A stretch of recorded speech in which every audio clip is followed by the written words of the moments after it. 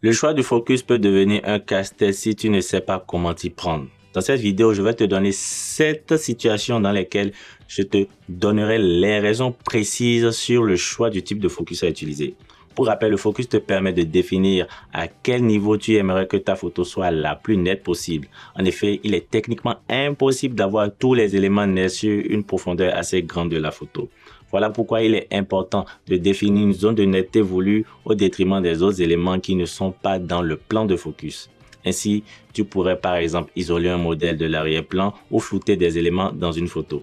Mais la question est de savoir à quel moment faut-il choisir d'être en focus manuel ou automatique. Avant de commencer, pour toi qui ne sais pas comment passer du focus manuel au focus automatique, il est présent sur les objectifs avec un bouton avec lequel tu peux passer facilement de manuel à automatique. Je tiens aussi à préciser que certains objectifs sont 100% manuels comme la plupart des objectifs cinéma. Et enfin, la mise au point se fait souvent à mi-distance sur le bouton lors du déclenchement de la photo. Alors, première situation, manque de lumière ou conditions de faible luminosité. Dans les situations de faible luminosité, le boîtier aura du mal à détecter les éléments de la scène. Donc l'autofocus devient bien souvent très long et inexact. Tu verras l'appareil photo ramer pendant un long moment avant d'arriver à faire une mise au point qui peut être faite au mauvais endroit. Dans cette situation, il est obligatoire de passer en mise au point manuelle afin de ne pas perdre de temps et de s'assurer que ta zone de netteté soit bien faite. Deuxième situation, sujet distinct de l'arrière-plan. Les nouveaux boîtiers deviennent de plus en plus performants et ils ont un autofocus puissant. Cela devient encore plus évident quand le sujet se détache bien de l'arrière-plan. En effet, dans ces conditions idéales, l'appareil saura facilement détecter le sujet et la mise au point se fera plus rapidement et plus facilement qu'un focus manuel. Troisième situation, photo d'un sujet non distinct de l'arrière-plan. Comme je t'ai dit précédemment, lorsque le sujet est distinct de l'arrière-plan, la mise au point automatique est efficace. Il se peut que des fois, le sujet que tu veux photographier se fond presque dans l'arrière-plan. Dans ce cas-là, la mise au point risque d'être difficile. L'une des forces de l'autofocus, c'est la détection du contraste et la détection du sujet. On parle de contraste lorsqu'on observe une grande différence de luminosité ou de couleur entre le sujet et le reste de la scène. Ainsi, les capteurs de l'appareil photo arrivent facilement à détecter l'élément principal de la scène. Malheureusement, quand toutes ces conditions ne sont pas réunies, tu es obligé de passer au focus manuel. Quatrième situation, trop d'éléments sur la scène. La mise au point automatique fonctionne quand le sujet est bien distinct des éléments de la scène. Mais si nous avons plusieurs éléments distincts dans la scène, comment l'appareil choisira le sujet principal de la photo? Je pense que la question est vite répondue. Dans ce cas de figure, c'est à toi d'indiquer à ton appareil photo de sélectionner un sujet particulier avec l'utilisation des collimateurs. Cependant, si tu ne sais pas comment utiliser les collimateurs de ton appareil photo, tu devras tout simplement passer en mode manuel. Cinquième situation, photographier à travers une vitre. Photographier à travers une vitre donne un rendu assez plaisant.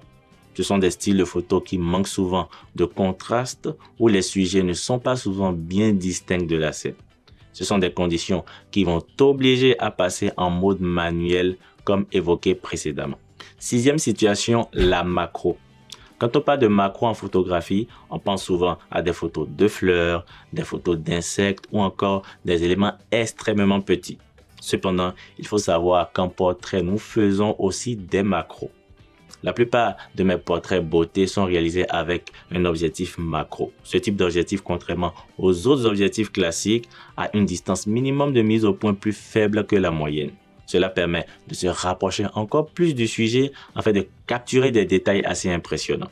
J'ai pu, grâce à cet objectif, photographier des lèvres, des yeux, des détails du maquillage et beaucoup d'autres choses. Cependant, la mise au point est l'une des difficultés de ce type de photographie.